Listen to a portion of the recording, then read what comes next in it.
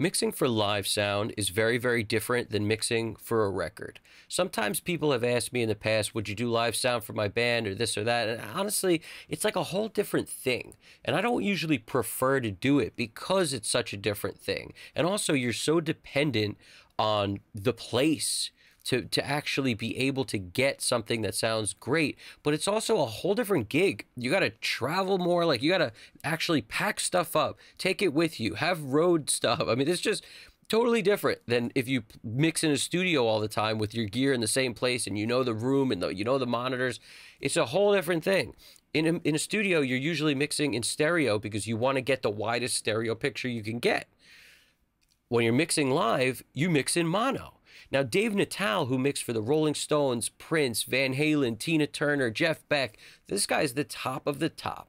He did an interview on Rick Beato's channel where he breaks down his EQ that he that he uses live, the way he gets stuff to sound great, how he can get tons of volume. There's some crossover here. You will definitely find there's some stuff you'll be able to use on your own mixing by learning his EQ moves and his style. So I want to play this for you, then we'll talk about why it works. You just have to know. Keep this in mind. He's using this graphic equalizer called the TC Electronic 6032. This thing has specific points on it. That's why he's picking the frequencies he's picking. So when you listen to this video, I want you to keep in mind that the reason he's saying he's lowering here or lowering there, he doesn't have the choice of everything in between. He's got a few choices, and I'm going to show you what it looks like afterwards. But watch this video real quick, then we'll talk about it. This is fair use for teaching purposes. Fair use for teaching purposes. You like the drum sound? Love the drum sound. Okay. Do, do, even though I mix balls loud, just because it's more fun, but beside it being loud, it's not painful. No. Okay.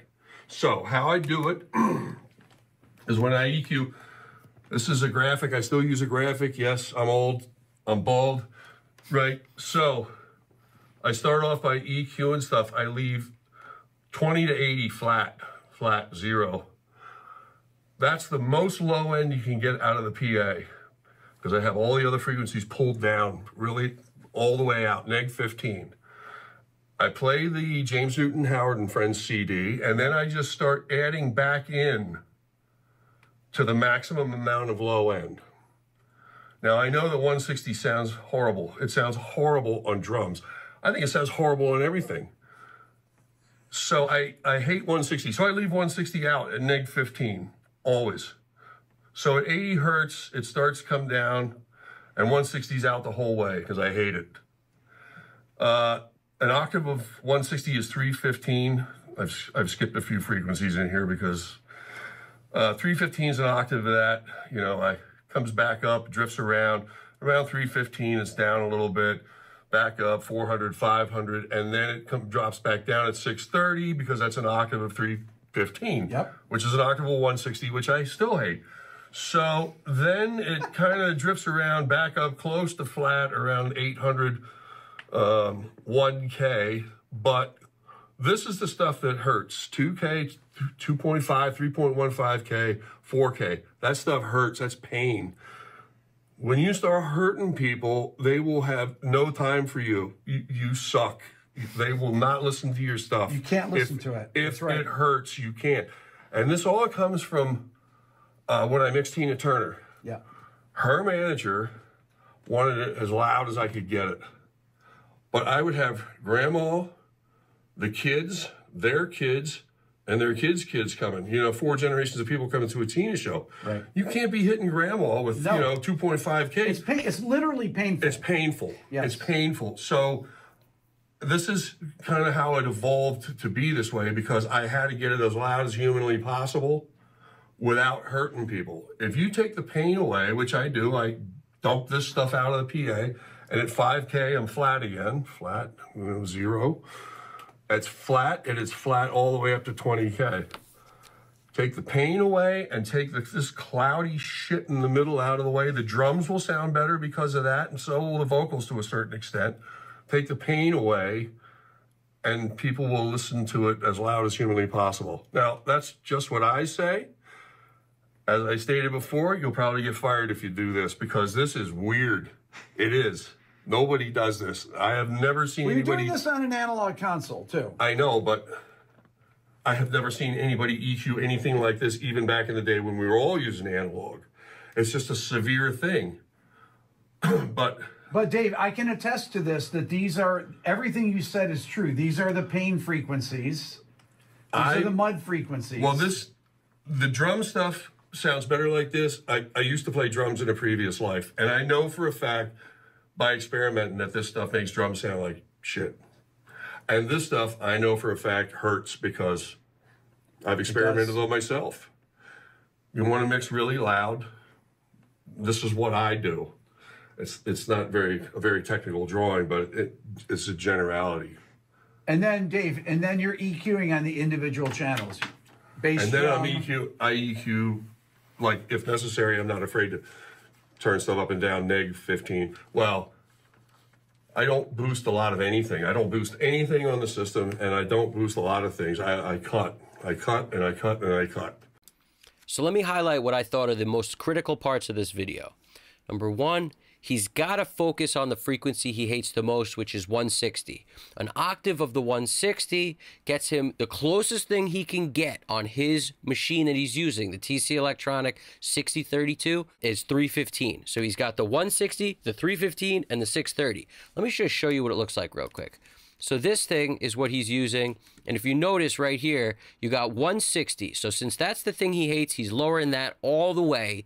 And then he's it's coming up a little. He said not to flat, but a little bit up at the 200, which is the next option. Then 250 a little bit. That's the next option. But then it goes back to zero at 316. It says on here. He said 15, but this says 16. Maybe it's a slightly different model he's using. I don't know. But 160 and 316 or 15 is the closest thing to an octave. Then we got 630. Okay, and that's obviously an octave from the 315, and that's the close. Like that is an octave, but his choice if he wanted to go below it would be 500. But he's saying make the 500 not quite flat, but let it live. It's not at negative 15, and the same thing with 400. Let it live. So he's down at nothing at 630. He's down at nothing at 315. He's down at nothing at 160. Everything in between it lives, and the other way, from 160 to 180, it's a diagonal line from the negative 15 up to the to the 80 hertz, not 180 to 80 hertz, from 160 to 80 in a diagonal line, and then flat zero across the board. So the critical things here, he's not boosting low end. A lot of people come in, the first thing they want to do, especially live, is they turn up the low end. The speakers can't reproduce it over a certain amount, and you're just making it harder to now turn everything up because your low end's clipping everything. It's, this is the same with mixing.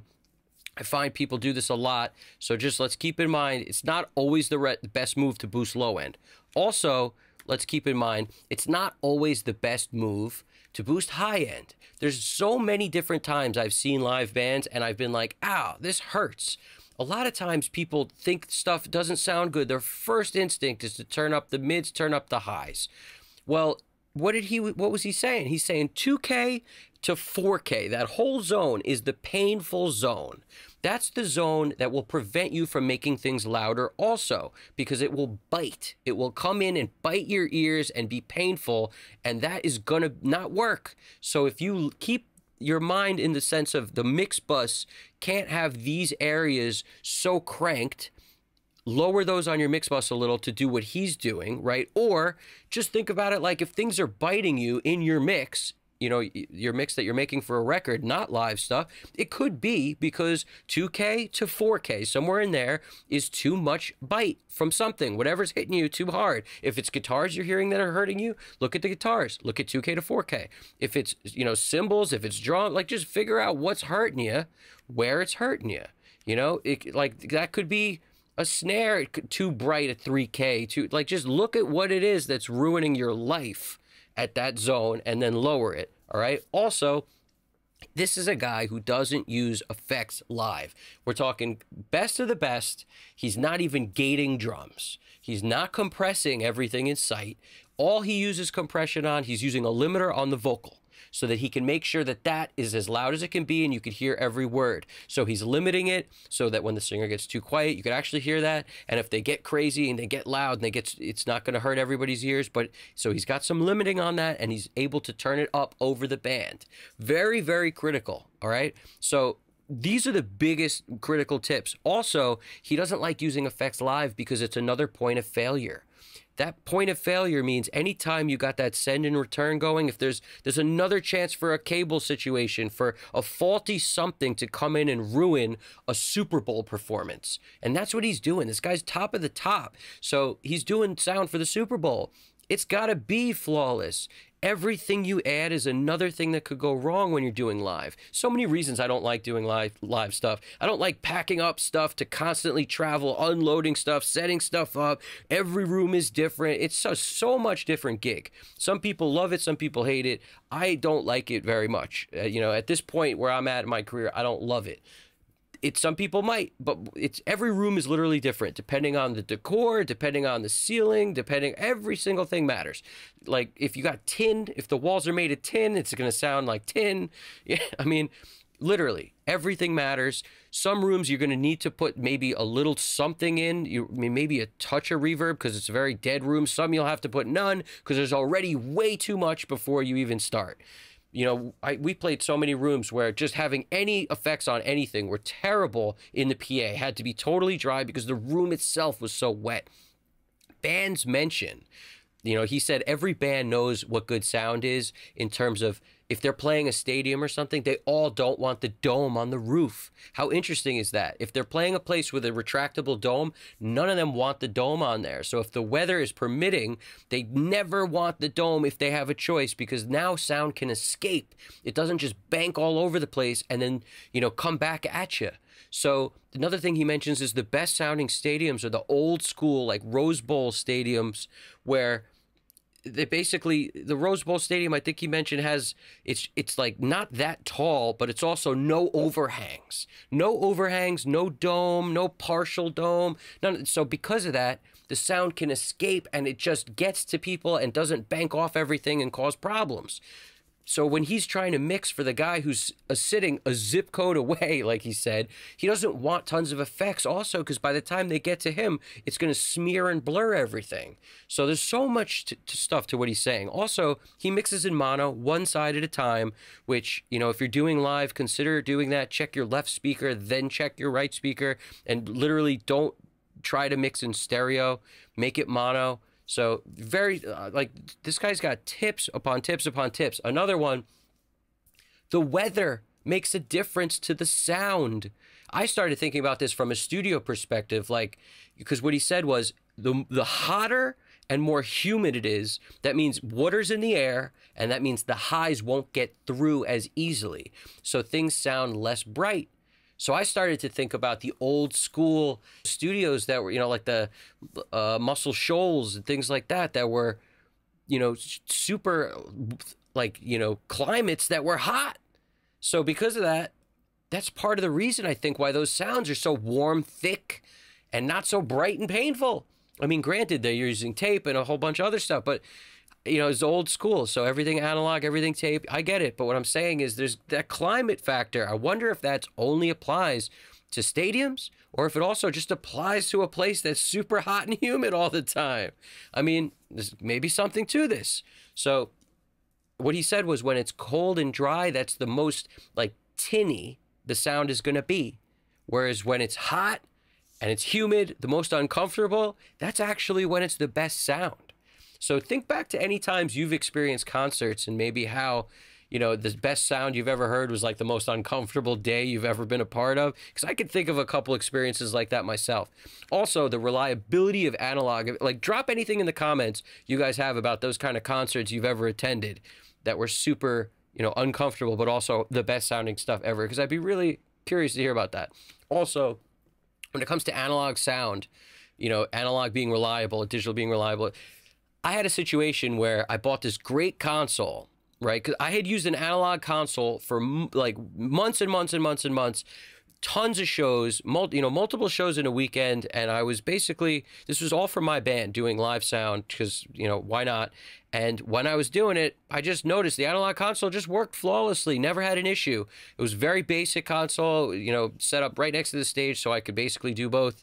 And I wore in ear so I could kind of just walk out and hear what was going on and I could take the in ears out and just basically hear what was happening in the room, and then I'd you know have my own mix going on. So it was my own way of doing it. Analog console worked flawlessly. I wound up upgrading to a digital console that wasn't a cheap console because there were a few things coming up where there was going to be multiple bands and I just wanted something a little better.